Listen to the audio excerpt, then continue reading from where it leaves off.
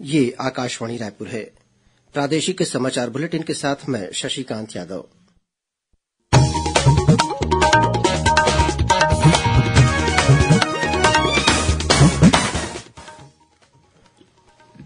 और अब पेश है आज के मुख्य समाचार।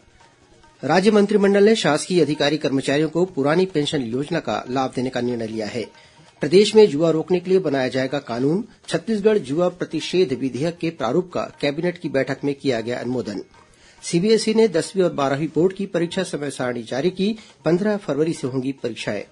और सारंगढ़ बिलाई ज़िले में पानी से भरी खदान में एक कार गिरने से सरपंच सहित चार लोगों की मौत।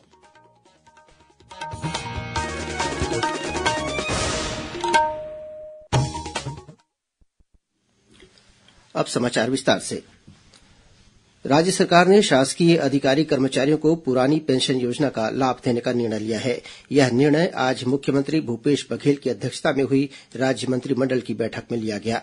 इसके तहत शासकीय सेवकों को एक अप्रैल 2022 से ही छत्तीसगढ़ सामान्य भविष्य निधि का सदस्य माना जाएगा और एक नवंबर 2004 या उसके बाद नियुक्त तिथि से इकतीस मार्च 2022 तक एनपीएस खाते में जमा, कर्मचारी अंशदान और उस पर अर्जित लाभांश एनपीएस नियमों के तहत देय होगा। कर्मचारियों को राज्य शासन के अंशदान और उस पर अर्जित लाभांश जमा करने पर ही पुरानी पेंशन की पात्रता होगी।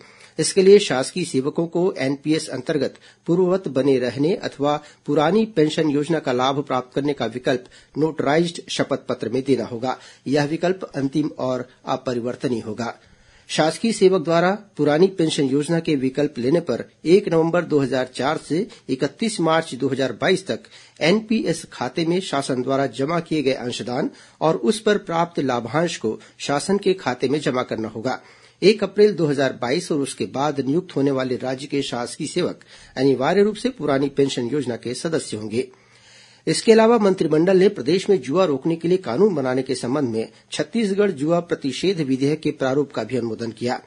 आज हुई बैठक में मंत्रिमंडल ने स्कूल भवनों की मरम्मत के लिए विशेष योजना शुरू करने का निर्णय लिया है। इस योजना के तहत कुल सात सौ अस्सी करोड़ रुपये खर्च किए जाएँगे। बैठक में राज्य में मिलेट उत्पादन और उसके उपयोग को बढ़ावा देने के संबंध में भी चर्चा की गई। इसके लिए कृषि, पंचायत एवं ग्रामीण विकास स्कूल शिक्षा, खाद्य, महिला और बाल विकास विभाग तथा स्वास्थ्य और परिवार कल्याण विभाग द्वारा संयुक्त रूप से पहल की जाएगी। बैठक में राज्य के सभी ज़िले में राज्य योजना के राशन कार्डधारियों को फोर्टिफाइड चावल वितरण करने का निर्णय लिया गया है। इसमें एपीएल कार्डधारियों को शामिल नहीं किया गया है। इसी तरह राष्ट्रीय खाद्य सुरक्षा अधिनियम के अंतर्गत जारी राशन कार्डो में आगामी जनवरी माह से दिसंबर 2023 तक निःशुल्क खाद्यान्न वितरण के समान ही अंत्योदय और प्राथमिकता राशन कार्डो में निःशुल्क खाद्यान्न वितरण करने का निर्णय लिया गया है। आज हुई मंत्रिमंडल की बैठक में दंतेवाड़ा विधायक भीमा मंडावी की मृत्यु की घटना से संबंधित न्यायिक जाँच की रिपोर्ट भी प्रस्तुत की गई। इसके अलावा मंत्रिमंडल ने मुख्यमंत्री वृक्ष संपदा योजना को आगामी वित्तीय वर्ष से लागू करने की स्वीकृति भी प्रदान की है। राष्ट्रीय महिला आयोग एनसीडब्ल्यू ने सभी राज्यों और केंद्र शासित प्रदेशों के मुख्य सचिवों को परामर्श जारी कर सभी कोचिंग और शैक्षणिक संस्थाओं की, छात्राओं के यौन उत्पीड़न की घटनाओं को रोकने के लिए प्रभावी कदम उठाने को कहा है। आकाशवाणी समाचार से बातचीत में आयोग की अध्यक्ष रेखा शर्मा ने कहा कि राज्यों और केंद्र शासित प्रदेशों से कहा गया है कि वे संबंधित अधिकारियों को इस अधिनियम के बारे में जागरूकता कार्यक्रम आयोजित करने का निर्देश दें ताकि लोगों को इस बारे में ज़्यादा से ज़्यादा जानकारी हो। प्रधानमंत्री नरेन्द्र मोदी की माँ हीराबेन का आज अहमदाबाद के एक अस्पताल में निधन हो गया है। वे सौ वर्ष की थीं। हीराबेन का अंतिम संस्कार आज सुबह गांधीनगर के मुक्तिधाम में किया गया। प्रधानमंत्री नरेन्द्र मोदी और परिवार के अन्य सदस्यों ने उनका अंतिम संस्कार किया। प्रधानमंत्री ने भावुक संदेश में कहा कि एक शानदार शताब्दी अब भगवान के चरणों में लीन हो गई है। छत्तीसगढ़ की राज्यपाल अनुसुईया उइके, मुख्यमंत्री भूपेश बघेल, विधानसभा अध्यक्ष डॉक्टर चरणदास महंत, भाजपा के प्रदेश अध्यक्ष अरूण साव पूर्व मुख्यमंत्री डॉक्टर रमन सिंह और नेता प्रतिपक्ष नारायण चंदेल सहित विभिन्न पार्टियों के नेताओं ने प्रधानमंत्री की माँ हीराबेन के निधन पर गहरा शोक व्यक्त किया है। केंद्रीय माध्यमिक शिक्षा बोर्ड सीबीएसई ने दसवीं और बारहवीं कक्षा की बोर्ड परीक्षाओं की समय सारणी जारी कर दी है। दसवीं और बारहवीं कक्षा की परीक्षाएँ पंद्रह फरवरी से शुरू होंगी। दसवीं कक्षा की परीक्षाएँ इक्कीस मार्च और बारहवीं की परीक्षाएँ पाँच अप्रैल तक चलेंगी। परीक्षा सुबह साढ़े दस बजे से शुरू होगी। बोर्ड परीक्षाओं की विस्तृत सूची सीबीएसई की आधिकारिक website CBSE dot G O V dot in पर उपलब्ध है। श्रोताओं, आकाशवाणी केन्द्र रायपुर से हर शनिवार को प्रसारित किए जाने वाला समसामयिक विषयों पर आधारित कार्यक्रम बातों बातों में इस बार बच्चों को इंटरनेट की दुनिया का सुरक्षित तरीके से फ़ायदा उठाने के बारे में जागरूक करने के लिए शुरू किए गए स्टे सेफ़ ऑनलाइन कैंपेन पर केंद्रित होगा। इसके तहत यूनिसेफ के सोशल बिहेवियर विशेषज्ञ अभिषेक सिंह से ली गई भेंटवार्ता प्रसारित की जाएगी। इसका प्रसारण आकाशवाणी केन्द्र रायपुर से कल इकतीस दिसंबर को सुबह साढ़े दस बजे से किया जाएगा। इसे छत्तीसगढ़ स्थित आकाशवाणी के सभी केन्द्र रिले करेंगे प्रादेशिक समाचार आप आकाशवाणी रायपुर से सुन रहे हैं छत्तीसगढ़ की खबरों से है आपका वास्ता और खबरों की विश्वसनीयता से है हमारा वास्ता। आकाशवाणी समाचार रायपुर के प्रादेशिक समाचार बुलेटिन के साथ ही हमारे समसामयिक कार्यक्रम आप रेडियो के अलावा अपने मोबाइल पर भी सुन सकते हैं। आकाशवाणी समाचार फेसबुक, ट्विटर और यूट्यूब पर भी उपलब्ध है। हमारा Facebook page Chhattisgarh news on AIR Twitter handle C G A I R news और हमारा यूट्यूब चैनल है Chhattisgarh A I R news तो अब रेडियो के साथ ही आपके मोबाइल के ज़रिए भी हम पहुँच रहे हैं आप तक। छत्तीसगढ़ की हर खबर के लिए सुनते रहिए आकाशवाणी समाचार।